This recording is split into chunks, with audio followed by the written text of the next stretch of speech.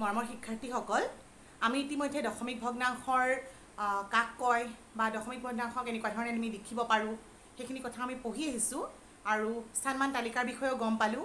আজি মই তোমালোকক অনুশীলনী এইট এৰ প্ৰশ্ন নম্বৰ একৰ পৰা আৰম্ভ কৰোঁ। আমাৰ প্ৰথম প্ৰশ্নটো হ'ল তলৰ দশমিক সংখ্যাবোৰ স্থানমান তালিকাত দেখুওৱা। আমাক এটাত কেইটামান প্ৰশ্ন দিয়া আছে আমি এইখিনি স্থানমান তালিকাত বহুৱাব লাগে। প্ৰথম সংখ্যাটো হৈছে শূন্য দশমিক সাত দুই পাঁচ দ্বিতীয়টো পাঁচ দশমিক শূন্য দুই তিনি তাৰপিছত সোতৰ দশমিক চাৰি চাৰি চাৰি তিনিশ বিছ দশমিক চাৰি সাত এহেজাৰ তিনিশ পঁয়সত্তৰ দশমিক চাৰি ছয় সাত ন। তোমালোকে পঢ়োঁতে নিশ্চয় এইখিনি কথা মন কৰিছা যে দশমিকৰ আগৰ সংখ্যাখিনি আমি যেতিয়া পঢ়িছোঁ সংখ্যাত হিচাপত পঢ়িছোঁ। কিন্তু দশমিকৰ পিছৰ অংশখিনি যেতিয়া পঢ়িছোঁ আমি অংক হিচাপে এটা এটাকৈ পঢ়িব লাগে। সেইটো কিন্তু তোমালোকৰ কাৰণে বহুত ইম্পৰ্টেণ্ট কথা মনত ৰাখিবা। এতিয়া মই তালিকাখন ইতিমধ্যে লিখি ৰাখিছোঁ ইয়াতে বৰ্ডত। তোমালোকে অলৰেডি জানা যে আমাৰ এটা সংখ্যাৰ এইফালৰ পৰা এইটো যদি একক হয় এইটো একক দহক শতক হাজাৰ এইফাললৈ এইফাললৈ আমি গৈ থাকিব পাৰোঁ আৰু এইখিনি হৈ গ'লে আমি একক দহক শতক হাজাৰ অযুত লাখ নিযুত গোটেই এনেকৈ গৈ থাকিব পাৰোঁ। ঠিক তেনেকৈ তুমি এইখিনিৰ পৰা আকৌ এইফালে গ'লে আমাৰ স্থানবোৰ স্থানবোৰ আছিলে দশাংশ শতাংশ সহস্ৰাংশ অযুতাংশ ইত্যাদি। এতিয়া তোমালোকে চোৱা তোমালোকে সদায় মন কৰিবা যে আমাৰ একক আৰু দশাংশৰ মাজত দশমিক বিন্দুটো থাকে। এইখিনিতে তোমালোকে কেতিয়াবা আমি এক একক আৰু দশাংশৰ মাজত দশমিক বিন্দু বুলি লিখি দশমিক বিন্দুটো দিও দিব পাৰোঁ বা নিদিয়াকৈও আমি লিখিব পাৰোঁ। মই এটা নিদিয়াকৈ কৰিছোঁ। এতিয়া মই স্থানমান তালিকাত প্ৰথম সংখ্যাটো বহুৱাই চাওঁ হা। আমাৰ এককৰ ঘৰত আছে শূন্য।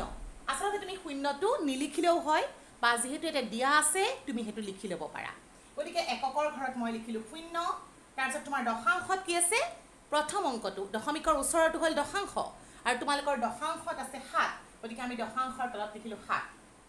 শতাংশত আছে দুই গতিকে শতাংশৰ ঘৰটোত মই লিখিলোঁ দুই আৰু সহস্ৰাংশত আছে তোমালোকৰ পাঁচ। সেইকাৰণে এইটো অংকৰ স্থানমান তালিকাত বহুওৱা হ'ল। তাৰপিছত মই দুই নম্বৰ প্ৰশ্নটোলৈ যাওঁ। দুই নম্বৰ প্ৰশ্নটো আছে পাঁচ দশমিক শূন্য দুই তিনি। এককৰ ঘৰত আছে পাঁচ তাৰপিছত দশমিক বিন্দু। তোমালোকক ইতিমধ্যে কোৱাৰ দৰে সদায় একক আৰু দশাংশৰ মাজত দশমিক বিন্দুটো থাকে। সেইটো মনত ৰাখিবা দেই। গতিকে এককৰ ঘৰত মই পাঁচ লিখিলোঁ। দশাংশত আছে শূন্য শতাংশত আছে দুই আৰু সহস্ৰাংশত আছে তিনি। পিছৰ অংকটো চোৱা এককত আছে সাত দশকত আছে এক সোতৰ এক দহ সাত। গতিকে এককত লিখিলোঁ সাত দশকত লিখিলোঁ এক।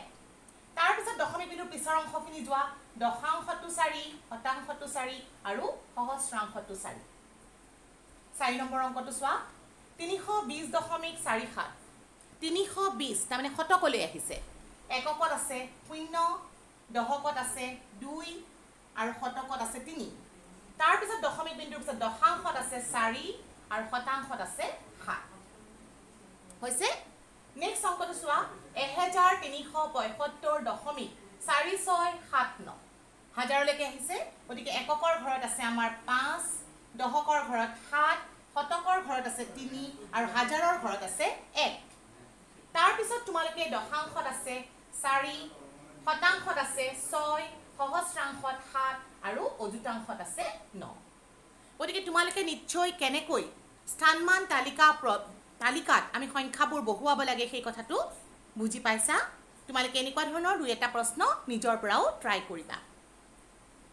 মই সদায় মনত ৰাখিবা স্থানমান তালিকাখন যাতে শুদ্ধকৈ লিখা। দশমিক বিন্দুটো সদায় আমাৰ ক'ৰ ক'ৰ মাজত পৰিব? দশাংশ আৰু এককৰ ঘৰৰ মাজত। সদায় এককৰ পৰা বাওঁহাতলৈ যাবা একক দশক শতক হাজাৰ অযুত লাখ নিজ এনেকৈ যাবা। ঠিক তেনেকৈ দশমিক বিন্দুৰ সোঁহাতলৈ শতাংশ দশাংশ শতাংশ সহস্ৰাংশ অযুতাংশ লক্ষাংশ এনেকৈ আমি গৈ থাকিব পাৰোঁ। হ'ব এইটো আমাৰ এক নম্বৰ প্ৰশ্নটো কৰা হৈ গ'ল। এইবাৰ মই দুই নম্বৰ প্ৰশ্নটোত তোমালোকক এটা দেখাই দিছোঁ। দুই নম্বৰ প্ৰশ্নটোত আমাৰ তালিকাখনৰ প্ৰয়োজন আছে মই তালিকাখন মচি নিদিওঁ। সংখ্যাকেইটা আঁতৰাই দিছোঁ। মই তোমালোকক ইয়াৰে দুটামান অংক কৰি দিম বাকীখিনি তোমালোকে নিজে লিখিব পাৰিবা। মই তিনিটা অংকৰ প্ৰশ্নটো দি তোমালোকক কৰাই দিম বাকীখিনি তোমালোকে নিজেই কৰিবা দেই। অ'কে প্ৰশ্নটো হ'ল তলৰ স্থানমান তালিকাত দিয়া দশমিক সংখ্যাবোৰ লিখা প্ৰশ্নটো। তলৰ স্থানমান তালিকাত দিয়া। স্থানমান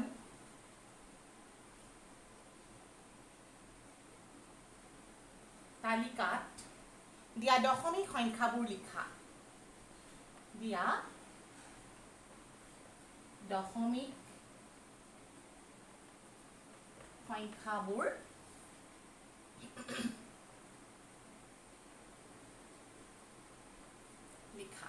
এই প্ৰশ্নটোতে তোমালোকৰ তালিকাখনক এনেকৈ দিয়া আছে দুই মই এক নম্বৰটো লিখিছোঁ দুই তিনি শূন্য চাৰি দুই তিনি শূন্য চাৰি এক দুই ন এক দুই ন।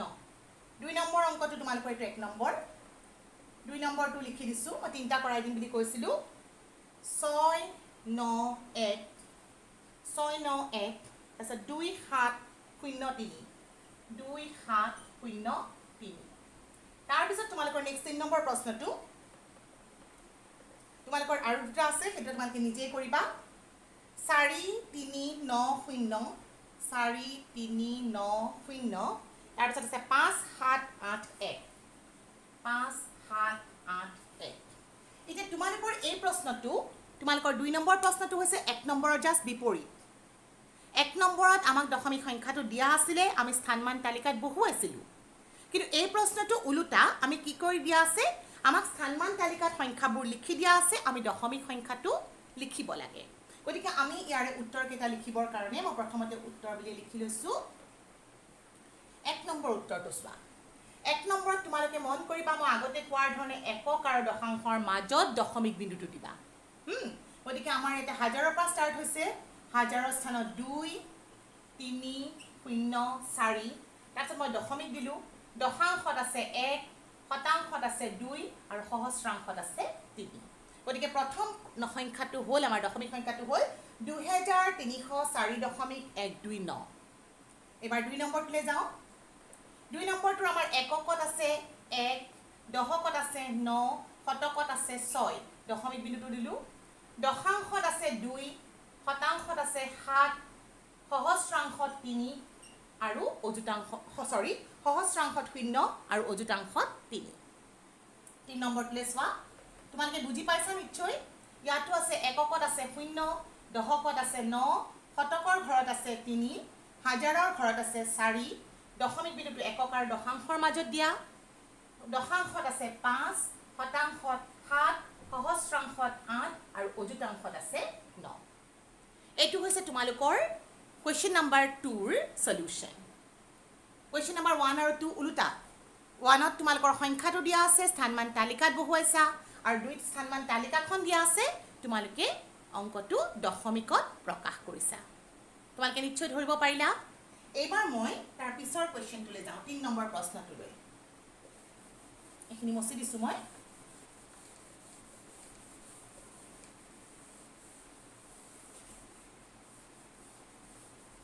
ৰ'বা মই কিতাপৰ পৰা প্ৰশ্নটো তোমালোকক প্ৰথমতে লিখি দি লওঁ তোমালোকৰ কুৱেশ্যন নম্বৰ থ্ৰী আছে। তলৰ দশমিক সংখ্যাবোৰ বিস্তাৰ কৰা। এইবাৰ আমাৰ সংখ্যাখিনি বিস্তাৰ কৰিব দিছে। দেই। তলৰ দশমিক সংখ্যাবোৰ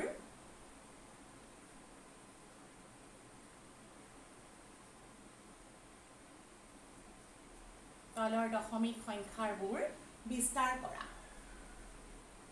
তোমালোকক মই যেতিয়া পাঠটো বুজাইছিলোঁ সেইখিনি সময়ত তোমালোকক মই অংকবোৰ এটা উদাহৰণ হিচাপত কৰি দিছিলোঁ। বিস্তাৰ কৰোঁতে আমি বিভিন্ন ধৰণে এটা সংখ্যাক বিস্তাৰ কৰিব পাৰোঁ। মই তোমালোকক ইয়াতে দুটা মান কৰি দিওঁ। তিনিৰ একটো দিয়া আছে তোমালোকৰ। পঁয়সত্তৰ দশমিক ছয় ন দুই। এতিয়া তোমালোকৰ প্ৰথম প্ৰশ্নটো পঁয়সত্তৰ দশমিক ছয় ন দুই। আৰু এটা প্ৰশ্ন মই লিখি লৈছোঁ। তিনিশ ছয়াল্লিছ দশমিক শূন্য চাৰি ন আৰু তিনি নম্বৰত তোমালোকৰ আছে চাৰি আৰু পাঁচ তোমালোকে নিজেই কৰিবা। One four six nine one thousand four hundred sixty nine দশমিক পইণ্ট দশমিকক আমি ইংৰাজীত পঢ়িলে পইণ্ট বুলি কওঁ point three two one seven. এতিয়া তোমালোকে প্ৰথমতে চোৱা ইয়াতে কেইধৰণে বিস্তাৰ কৰিব লাগে কুৱেশ্যনটোত একো কৈ দিয়া নাই। গতিকে তোমালোকে নিজৰ মতে বিস্তাৰ কৰিব পাৰা। মই তোমালোকক ইতিমধ্যে বহুত ধৰণে বিস্তাৰ কৰা শিকাই দিছোঁ। তোমালোকে তাৰে যোনটো মন যায় সেই ধৰণে বিস্তাৰ কৰিব পাৰা। যদি এক ধৰণে বুলি কয় এটা ধৰণে কৰিবা দুই ধৰণে বুলি ক'লে তুমি দুটা ধৰণে কৰিবা। ন? তিনি ধৰণে আছে। আমি কেইধৰণে কৰিছিলোঁ? তোমালোকৰ নিশ্চয় মনত আছে? মই তোমালোকক চাৰি ধৰণে বিস্তাৰ কৰি দিছিলোঁ।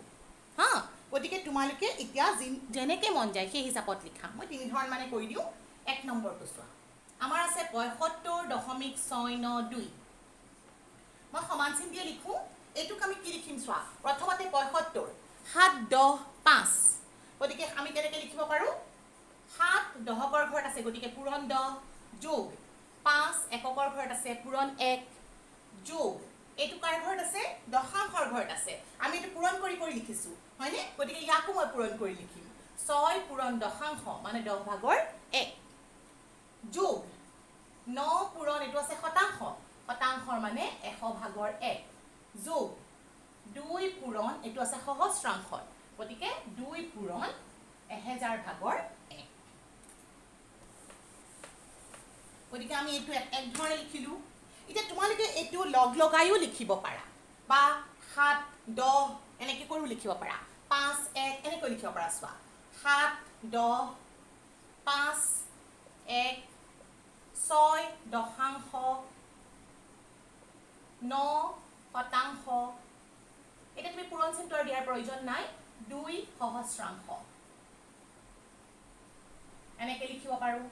আৰু এক ধৰণে আমি এনেকৈ লিখিব পাৰোঁ। লগ লগাই যদি লিখোঁ তুমি সাত পূৰণ দহক লিখিব পাৰা সত্তৰ পাঁচ পূৰণ একক তুমি লিখিব পাৰা। পাঁচ ছয় পূৰণ এইটো মই একে একেলগতে লিখিলে কি লিখিম? দহ ভাগৰ ছয় কাৰণ ছয় একে ছয় গুণ ছয় তলত আছে দহ। এইটোক লিখিব পাৰোঁ এশ ভাগৰ ন। এইটোক কেনেকৈ লিখিব পাৰোঁ? এহেজাৰ ভাগৰ ওপৰত আছে দুই। বা দশমিক বিন্দু ব্যৱহাৰ কৰিও মই এইটো প্ৰকাশ কৰিব পাৰোঁ। কেনেকৈ কৰিম দশমিক বিন্দু প্ৰকাশ কৰিলে? তোমালোকৰ এইটো চোৱা প্ৰথমখিনিটো একেই আছে সত্তৰ পাঁচ আৰু দশাংশটোক আমি কেনেকৈ লিখোঁ? দশাংশ হ'লে আমি কি লিখোঁ? দশমিকৰ পিছত এটা অংক লাগিব যিহেতু একৰ পিছত শূন্য আছে। গতিকে এইটো হ'ল দশমিক ছয়। শতাংশ হ'লে আমি কেনেকৈ লিখোঁ? দশমিকৰ পিছত দুটা অংক লাগিব। গতিকে আমাৰ হাতত আছে ন। আগত এটা মই শূন্য দি দশমিক বিন্দুটো দি দিলোঁ দশমিক শূন্য ন। সহস্ৰাংশ থাকিলে মোৰ তিনিটা অংক লাগিব। তিনিটা শূন্য আছে এইটো দুটা তিনিটা। গতিকে মই আগত দুটা শূন্য দি আৰু ইয়াৰ আগত দশমিক দিলোঁ গতিকে তোমালোকে দেখিলা যে এটা অংককে আমি এনেকুৱা চাৰি ধৰণে বিস্তাৰ কৰিব পাৰোঁ। হুম, তোমালোকক যদি এক ধৰণে কয় তোমালোকে প্ৰথমটোৱে প্ৰিফাৰ কৰিবা। হ'ব? এইবাৰ মই নেক্সট কুৱেশ্যন নাম্বাৰ টু লৈ যাওঁ। কুৱেশ্যন নাম্বাৰ টুত আছে তোমালোকৰ।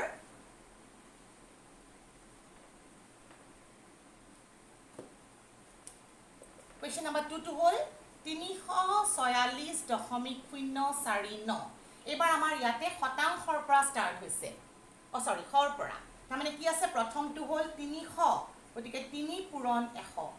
যোগ চাৰি দহ চাৰি পূৰণ দহ। ছয় এক তাৰপিছত শূন্য দশাংশ। চাৰি শতাংশ ন সহস্ৰাংশ। নিশ্চয় ধৰিব পাৰিছা?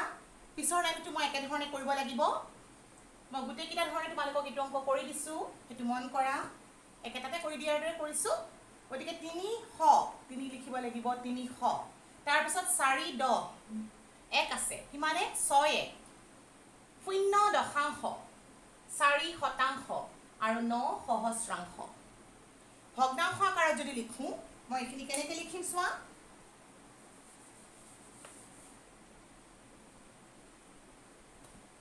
তিনিশটো পূৰাকৈ সম্পূৰ্ণকৈ তিনিশ এনেকৈ লিখিলোঁ। চাৰি দহ মানে চল্লিছ ছয় এক। শূন্য দশাংশ এইটো কেতিয়াবা শূন্যটো আমি নিলিখাকৈও কৰোঁ। দেই বহুতে শূন্যত থাকিলে নিলিখাকৈও কৰে সেইটো ভুল নহয়। চাৰি দশা শতাংশ আছে আৰু ন সহস্ৰাংশ আছে। তাৰপিছত তোমালোকে আকৌ দশমিক বিন্দুৰ সহায়তো লিখিব পাৰা। তিনিশ চল্লিছ যোগ ছয় যোগ দশমিক শূন্য। বা তুমি এইটো ৰিমুভ কৰি নিলিখাকৈও কৰিব পাৰা। যদি নিলিখাকৈ কৰা তেতিয়াও আমাৰ ভুল নহয়। সেইধৰণে আমি লিখিব পাৰোঁ।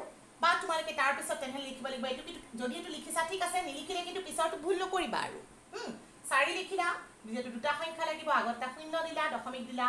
ইয়াতে মোৰ ন আছে তিনিটা সংখ্যা লাগে দুটা আগত শূন্য দি দিলোঁ। কাৰণ জিৰ' জিৰ' নাইন মানেতো তোমালোকৰ আল্টিমেটলি নাইনেই হয় হয়নে? গতিকে ইয়াৰ আগত এটা দশমিক বিন্দু দি দিলোঁ। তো এতিয়া আমি এয়া চাৰি ধৰণে বিস্তাৰ কৰিব শিকিলোঁ। শেষৰ অংকটো তোমালোকে নিশ্চয় পাৰিবা কৰিব। অ'কে মই বাৰু সেইটোও দেখাই দিছোঁ। এইবাৰ মই চাৰি নম্বৰ অংকটোলৈ গৈছোঁ। অঁ চৰি তিনি নম্বৰটোলৈ। তিনি নম্বৰটো তোমালোকৰ আছে এহেজাৰ চাৰিশ ঊনসত্তৰ দশমিক তিনি দুই সাত এক। তো গতিকে মই কি লিখিম প্ৰথমতে? এহেজাৰ। গতিকে এক পূৰণ এহেজাৰ। যোগ চাৰি পূৰণ শতকৰ ঘৰত আছে শ। দশকৰ ঘৰত আছে গতিকে ছয় পূৰণ দহ। ন পূৰণ এক। যোগ তিনি পূৰণ দশাংশ। দহ ভাগৰ এক। পেনটো চেঞ্জ কৰি লৈছোঁ। তিনি পূৰণ দহ এক তাৰপিছত নেক্সট হ'ল দুই পূৰণ এশ ভাগৰ। এক নেক্সট আছে সাত পূৰণ সহস্ৰাংশ এহেজাৰ ভাগৰ এক আৰু এক পূৰণ অযুতাংশ। দহ হাজাৰ ভাগৰ অযুতাংশ এক দুই তিনি চাৰিটা সংখ্যা। এতিয়া মই ইয়াক পূৰণ কৰি লিখোঁ। এহেজাৰ চাৰিশ ষাঠি যোগ ন যোগ তিনি ভাগৰ দহ ভাগৰ তিনি এশ ভাগৰ দুই এহেজাৰ ভাগৰ সাত আৰু দহ হাজাৰ ভাগৰ এক। বা তোমালোকে দশমিকত লিখিলে এক হাজাৰ চাৰিশ ষাঠি ন দশমিকৰ পিছত এটা অংক দশমিক তিনি দশমিক ইয়াতে হ'ল শূন্য দুই। এইটো কেনেকৈ লিখিম? সাতটো লিখিছোঁ আগত দুটা শূন্য দশমিক শূন্য শূন্য সাত আৰু এইটো হ'ল দশমিক শূন্য শূন্য শূন্য এক। কাৰণ চাৰিটা অংক আছে।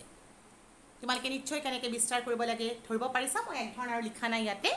তোমালোকক প্ৰশ্নত যদি আমাক এইধৰণে কৈ দিয়ে তেতিয়া আমি দুই তিনি ধৰণে লিখিম। নহ'লে আমাক সাধাৰণতে এক ধৰণে দিয়ে। তোমালোকে যিকোনো এটা ধৰণে প্ৰেক্টিচ কৰিবা। আৰু ইয়াৰে তোমালোকৰ দুটা প্ৰশ্ন আছে সেইকেইটা তোমালোকে নিজেই কৰিবা। ঠিক আছে? আজিলৈ থৈছোঁ। Thank you.